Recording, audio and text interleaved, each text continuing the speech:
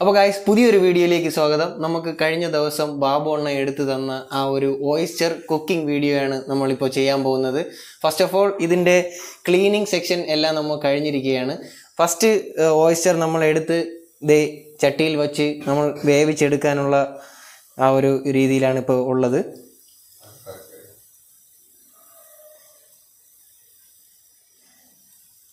ഏകദേശം ഇത് വെന്തിട്ടുണ്ട്. നമുക്കിത് മറ്റൊരു പ്ലേറ്റിലേക്ക് മാറ്റാം. അതിനുശേഷം ഇതിനു ഇതിനകത്തെ ആ ഒരു ഫ്ലഷിനെ നമുക്ക് എടുക്കാം.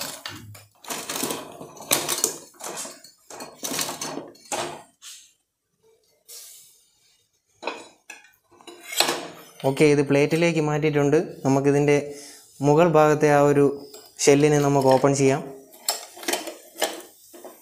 ഇത് ആ ഒരു വേവ് വന്നപ്പോൾ തന്നെ ഇത് ഏകദേശം അതിൽ നിന്നും വിട്ടു പോയിട്ടുണ്ട്. ആ ഷെല്ല് മാറ്റിയിട്ടുണ്ട്. ഇത് ഈ കാണുന്നതാണ് ഇതിന്റെ ഫ്ലഷ് ഇത് നല്ല മുറ്റിയ ഓയ്സ്ചറാണ് കേട്ടോ. ഒരുപാട് നാൾ പഴക്കമുള്ള ഓയ്സ്ചറാണ് എടുക്കാതിരുന്ന് ഇത് നല്ല രീതിയിൽ വളർന്ന് ഇത്രത്തോളം ചത വന്നിട്ടുള്ളതാണ്. ഈ ഈ ഒരു ഭാഗം മാത്രമാണ് നമ്മൾ കഴിക്കാൻ ഉദ്ദേശിക്കുന്നത്. ഓക്കെ നമുക്ക് ഇതുപോലെ തന്നെ ബാക്കിയുള്ള രണ്ട് ഓയിസ്റ്ററും കൂടെ വേവിച്ചെടുക്കാം. അതിനുശേഷം പ്ലേറ്റിലേക്ക് മാറ്റിയിട്ട് നമുക്ക് അതൊന്ന് ടേസ്റ്റ് ചെയ്ത് നോക്കാം. ഗായ്സ് അപ്പോൾ രണ്ടാമത്തെ ഓയിസ്റ്ററിനെ വേവിച്ചെടുക്കാനായത് കണ്ടില്ലേ? അടുപ്പിലേക്ക് വച്ചിട്ടുണ്ട്. ആദ്യത്തെ ഓയിസ്റ്റർ ഏകദേശം ഒരു എട്ട് പത്ത് മിനിറ്റോളം എടുത്ത് കേട്ടോ. അതൊന്ന് വെന്ത് ഓപ്പണായി കിട്ടാൻ. സാധാരണ ആദ്യത്തെ ഓയിസ്റ്ററിനെ പോലെ അല്ല ഇത്. ഇത് കുറച്ചുകൂടെ ഹാർഡാണ് ഇതിന് കുറച്ചുകൂടെ ടൈം എടുക്കുമെന്നാണ് എനിക്ക് തോന്നുന്നത് എന്തായാലും നമുക്ക് നോക്കാം. ഇതേ കണ്ടില്ലേ നന്നായിട്ട് അതിന്റെ വെള്ളം തിളച്ച് മറിയുന്നതായിട്ട് കാണുന്നുണ്ട്. പിന്നെ അതിന്റെ സ്മെല്ലും നമുക്ക് കിട്ടുന്നുണ്ട്. പക്ഷേ എന്നിരുന്നാലും അതിന്റെ ആ ഒരു ഭാഗം ഓപ്പണായി വരുന്നതായിട്ട് എനിക്ക് കാണുന്നില്ല. ഇതേ കണ്ടില്ലേ വെള്ളം നന്നായിട്ട് തിളച്ച് മറിഞ്ഞ് വരുന്നുണ്ട്. സാധാരണ ഫസ്റ്റ് ഓയിസ്റ്റർ വച്ചതിനെക്കാട്ടി ഇതിപ്പോൾ ഏകദേശം ഒരു പന്ത്രണ്ട് പതിമൂന്ന് മിനിറ്റോളം ആയി. ഇത് എന്നിരുന്നാലും വെള്ളം നന്നായിട്ട് തിളച്ച് മറിയുന്നുണ്ട്. അതിന്റേതായിട്ടുള്ള ആ ഒരു ഉള്ളിലുള്ള ആ ഫ്ലഷിന്റെ സ്മെല്ലും വരുന്നുണ്ട്. പക്ഷേ അത് ഓപ്പൺ ആയിട്ടില്ല എന്നുള്ളത് എനിക്ക് മനസ്സിലായി. അതുകൊണ്ട് ഇതേ കണ്ടില്ലേ? ഞാൻ ആ ഒരു പോയിന്റ് ഔട്ട് ചെയ്യുന്നത് കണ്ടോ? ആ ഭാഗം എന്തായാലും ഓപ്പണായി വന്നിട്ടില്ല. നമുക്ക് ശ്രദ്ധിച്ച് നോക്കിയാൽ കാണാൻ പറ്റുന്നുണ്ട്. അപ്പോൾ ഞാൻ അടുപ്പ് ഓഫ് ചെയ്തിട്ടുണ്ട്. എന്തായാലും ഇതിനെ ഇനിയിപ്പോൾ അടിച്ചിളക്കി എടുക്കേണ്ടി വരും. കണ്ടില്ലേ? ഞാനൊരു ചുറ്റിയിലും ഒരു ചെറിയൊരു വെട്ടുകുത്തിയും ഉപയോഗിച്ച് അതിനെ ഒന്ന് അടിച്ചെടുക്കാൻ നോക്കുകയാണ്. ഒരു നാലഞ്ചടി അടിച്ചപ്പോൾ അതിന്റെ ആ ഒരു ഭാഗം മുഴുവനായിട്ടും ചെറുതായിട്ടൊന്ന് ഓപ്പണായി വരുന്നതായിട്ട് കാണുന്നുണ്ട്. നമുക്ക് വെട്ടോത്തി ഒന്ന് വച്ച് വെട്ടി നോക്കാം. നല്ല ശ്രമകരമാണ് കേട്ടോ. ഒരു മൂന്നാൽ തവണ വെട്ടി നോക്കി. നടന്നില്ല.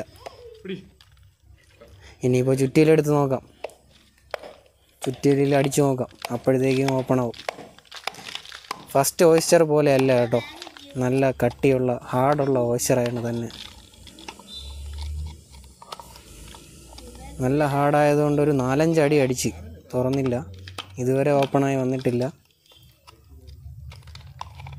ഓരോ ഭാഗമായിട്ട് ഓപ്പൺ ആവുന്നതായിട്ട് നമ്മൾ കാണുന്നുണ്ട്. ഇതേ കണ്ടില്ലേ? ലാസ്റ്റ് ശ്രമമായിട്ട് നന്നായിട്ട് അടിച്ചപ്പോൾ അത് ഓപ്പണായി വന്നിട്ടുണ്ട്. ദേ ആ ഇരിക്കുന്ന ആ ഒരു ഫ്ലഷാണ് നമ്മൾ കഴിക്കേണ്ടത്. ദേ ഉള്ളിൽ നമുക്ക് കാണാൻ പറ്റുന്നുണ്ട്. അത് നമുക്കൊന്ന് കഴുകി എന്തായാലും എടുക്കാം. ഇപ്പോഴത്തേക്ക് ഞാനൊന്ന് കാണിച്ചു തരാണ്. കണ്ടില്ലേ? ഫസ്റ്റ് ഓയിസ്റ്റർ പോലെയല്ല നല്ല കട്ടിയുള്ള ഷെല്ല് തന്നെയാണ് അതിലുള്ളത്. നല്ല മാംസമാണ് കേട്ടോ. ആ രണ്ടാമത്തതിലും നമുക്ക് കാണാൻ പറ്റുന്നുണ്ട്. ആ ഒരു പീസിലും കാണാൻ പറ്റുന്നുണ്ട്. ഇതേ ശ്രദ്ധിച്ച് നോക്കിയാൽ കാണാൻ പറ്റും. ഇനി നമുക്ക് ഇതിനെ ഒന്ന് കഴുകി എടുത്തിട്ട് ഇതിന്റെ കൂടെ കഴിക്കാനായി ഒരു ചെറിയ സോസും കൂടെ ഉണ്ടാക്കി നമുക്കൊന്ന് ടേസ്റ്റ് ചെയ്ത് നോക്കാം കേട്ടോ. അതിനുശേഷം ഇതിന്റെ അഭിപ്രായം ഇതെങ്ങനെയുണ്ടെന്ന് ഞാൻ പറയുന്നതായിരിക്കും കേട്ടോ. അപ്പോൾ ഓയിസ്റ്റർ വെന്ത് വന്നിട്ടുണ്ട്. അതിനുശേഷം നമ്മൾ സാധാരണ കുബൂസിന്റെ കൂടെ മയണൈസ് കഴിക്കാറുണ്ട്. അതിന്റെ കൂടെ മറ്റ് കൂട്ടുകറികളൊക്കെ കഴിക്കാറുണ്ട്. ഈ ഓയിസ്റ്റർ കഴിക്കാനും ഒരു ചെറിയ കൂട്ടുകറി ഉണ്ടാക്കേണ്ടതുണ്ട്. അതെങ്ങനെ ഉണ്ടാക്കേണ്ടതെന്ന് ഞാൻ കാണിച്ചു തരാം. ഞാൻ അരിഞ്ഞു വച്ചിട്ടുള്ള വെളുത്തുള്ളി ഇഞ്ചി കറിവേപ്പില മല്ലിയില സവാള ഉപ്പ് ആവശ്യത്തിന് ഉപ്പ് പിന്നെ പച്ചമുളക് ചെറിയൊരു ഗരം മസാല പൗഡറും കൂടെ ഉപയോഗിച്ചിട്ടുണ്ട്. ഇതെല്ലാം നമുക്ക് മിക്സ് ചെയ്തതിന് ശേഷം സ്വീറ്റ് ചില്ലി സോസും കൂടെ അതിൽ ആഡ് ചെയ്യാം. അതിനുശേഷം നമുക്കൊന്ന് ടേസ്റ്റ് ചെയ്ത് നോക്കാം. ഇത് നമുക്ക് മിക്സ് ചെയ്യാം. ഞാൻ സ്വീറ്റ് ചില്ലി ഈ ഉപ്പിലേക്ക് ഒഴിച്ചിട്ടുണ്ട്. അതിനെ ചെറുതായിട്ടൊന്ന് മിക്സ് ചെയ്ത് കൊടുക്കുക.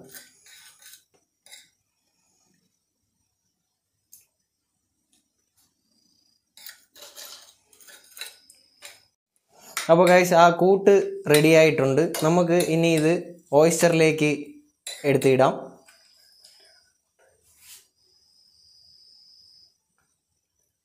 ആഹാ. പിന്നെ എന്താ ഭംഗി?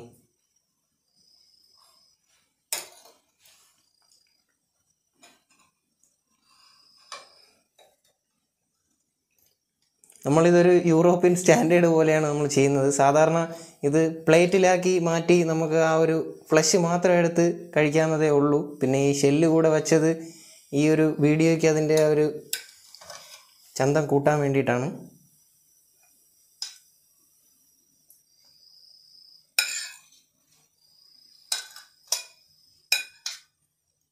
ഒരുപാട് പേര് ഇത് ഓയിസ്റ്റർ അല്ല യഥാർത്ഥ ഓയിസ്റ്റർ അല്ല എന്ന് ഒരുപാട് പേര് കമന്റ് ചെയ്തു. അതുകൊണ്ട് തന്നെയാണ് ഞാൻ ഈ ഒരു കുക്കിംഗ് വീഡിയോയും കൂടെ ഇതിന്റെ കൂടെ ആഡ് ചെയ്തിട്ടുള്ളത്. പിന്നെ ഈ ഓയിസ്റ്റർ എടുക്കുന്ന വീഡിയോ കാണാത്തവർക്കായി ഞാൻ ടാഗ് ലൈനിൽ ആ ഒരു വീഡിയോ കൊടുത്തേക്കാം. കാണാത്തവർ കണ്ടേക്കുക. നമ്മുടെ ഓയിസ്റ്റർ ടേസ്റ്റ് ചെയ്ത് നോക്കുന്ന സമയമാണ്. ഇതിന്റെ ഫ്രണ്ട് നൗഫലാണ് ഞാൻ സാധാരണ ഓയിസ്റ്റർ കഴിക്കാറില്ല. അതുകൊണ്ട് എന്റെ ഫ്രണ്ട് നൗഫൽ കഴിച്ചതിന് ശേഷം ഇതിന്റെ റിവ്യൂ ഒന്ന് പറയുന്നതായിരിക്കും. കഴിച്ചു? ഹായ് ഗൈസ് ആക്ച്വലി ഓയിസ്റ്റർ ഞാൻ ആദ്യം കഴിക്കുന്നത് തന്നെ ഒരു ഇറ്റാലിയൻ റെസ്റ്റോറന്റിൽ പോകുമ്പോഴാണ്. അവിടെ അന്ന് അവർ മെനു പറഞ്ഞ സമയത്ത് ഒരു പ്രത്യേക വിഭവം അന്ന് അവർ അനൗൺസ് ചെയ്തിട്ടുണ്ടായിരുന്നു. ഓയിസ്റ്റർ സ്പോഞ്ച് ചോപ്സ് എന്ന് പറഞ്ഞിട്ട്. അപ്പോൾ ഒരു കൗതുകത്തോടെയാണ് ഞാൻ ആ പേര് കേട്ടത്. പെട്ടെന്ന് എനിക്ക് സ്ട്രൈക്ക് ചെയ്ത് നമ്മുടെ ഉസ്താദ് ഹോട്ടലിൽ ദുൽഖർ സൽമാനോട് അവിടെ വരുന്നൊരു ഒരു കസ്റ്റമർ പറഞ്ഞു. ഓയിസ്റ്റർ പെട്ടെന്ന് ഹീറ്റ് ചെയ്ത് കൊണ്ടുവരാനൊക്കെ പറഞ്ഞിട്ടൊരു സീനില്ലേ അത് പെട്ടെന്ന് സ്ട്രൈക്ക് ചെയ്തിട്ടാണ് ഒരു കൗതുകത്തോടെയാണ് ഞാനത് ഓർഡർ ചെയ്തത്. പക്ഷെ അത് കഴിച്ചപ്പോൾ എനിക്കൊരു പ്രത്യേകതര ഫീൽ എനിക്ക് പക്ഷെ ബാക്കി എന്റെ കൂടെ വന്ന ആർക്കും ഇഷ്ടപ്പെട്ടില്ല കേട്ടോ. എനിക്ക് അത് ആ ഓയിസ്റ്ററിനേക്കാളും അതിന്റെ ഒരു കൂട്ടുകറി അതെനിക്ക് വല്ലാതെ സ്ട്രൈക്ക് ചെയ്തു. അങ്ങനെ അതെ അതെ. അത് വെച്ച് കമ്പയർ ചെയ്യുമ്പോഴത്തേക്ക് ഇത് ചെറിയ വ്യത്യാസങ്ങളൊക്കെ ഉണ്ട് എന്നാൽ പോലും ഇത് ഞാൻ ടേസ്റ്റ് ചെയ്തിട്ട് ഞാൻ പറയാം. ഓക്കെ ഓക്കെ അപ്പോൾ ഗൈസ് നൗഫൽ ടേസ്റ്റ് ചെയ്തതിന് ശേഷം അതിന്റെ ഒരു റിവ്യൂ പറയുന്നതായിരിക്കും. ഓസ്റ്റർ നന്നായിട്ട് കുക്കായിട്ടുണ്ട്.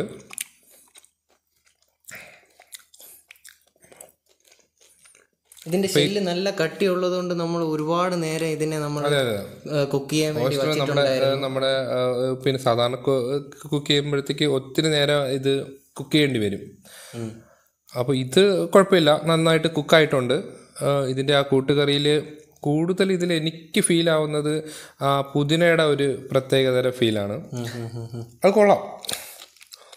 സാധാരണയായി നമ്മൾ പ്ലേറ്റിലൊക്കെ വെച്ചാണ് കഴിക്കാറ്. ഇതിപ്പോൾ ആ ഒരു ആ ഒരു കൾച്ചർ അനുസരിച്ച് തന്നെ നമ്മൾ കഴിക്കാനാണ് ശ്രമിച്ചിട്ടുള്ളത്. അതെ തീർച്ചയായിട്ടും. ഷെല്ലിന് നല്ല കട്ടിയാണ് കേട്ടോ. ഇവിടെ നമ്മൾ ഈ ഓയിസ്ചർ എടുക്കാതിരിക്കുന്നത് കൊണ്ട് ഇത് നല്ല രീതിയിൽ വളർന്ന് ഇതിന്റെ ഷെല്ലിനൊക്കെ നല്ല കട്ടിയായി പോയി കേട്ടോ. ഇത് ഇച്ചിരി ഈ പറയുന്ന നമ്മുടെ നാട്ടിൽ പറയുന്ന പോലെ ഇച്ചിരി മുറ്റിയതാണ്. അതുകൊണ്ട് തന്നെ കുറച്ച് കുറച്ച് ഹാർഡാണ് സംഭവം. പക്ഷേ ഇതിൽ നമ്മുടെ നമുക്ക് ഷവായിയൊക്കെ മയണസിൽ മുക്കി കഴിക്കുന്നത് പോലെ ഈ കൂട്ടുകറിയിൽ തൊട്ട് കഴിക്കാൻ കുഴപ്പമില്ല. കൊള്ളാം. ഓക്കെ ഈ സമയത്ത് നമുക്ക് ഓർമ്മിക്കേണ്ട ഒരാളുണ്ട്. നമ്മുടെ ബാബുണ്ണനാണ്. ബാബുണ്ണനെ താങ്ക് യു നമ്മൾ ഈ ഒരു കാര്യം നമ്മൾ ചെയ്യണമെന്നുണ്ടെങ്കിൽ ബാബുണ്ണന്റെ സഹായം ഇല്ലാതെ ഇത് പറ്റില്ലായിരുന്നു. അപ്പോൾ നമ്മുടെ കൂട്ടുകറി എങ്ങനെയുണ്ട്? നോഫൽ? കൂട്ടുകാരെ ഓക്കെ നോട്ട് ബാഡ് കൊള്ളാം. യാ താങ്ക് യു അപ്പോൾ ഇതുപോലെയുള്ള വ്യത്യസ്തമായ വീഡിയോകൾ കാണാനായി നമ്മുടെ ചാനൽ സന്ദർശിക്കുക സബ്സ്ക്രൈബ് ചെയ്യുക like share comment okay bye thank you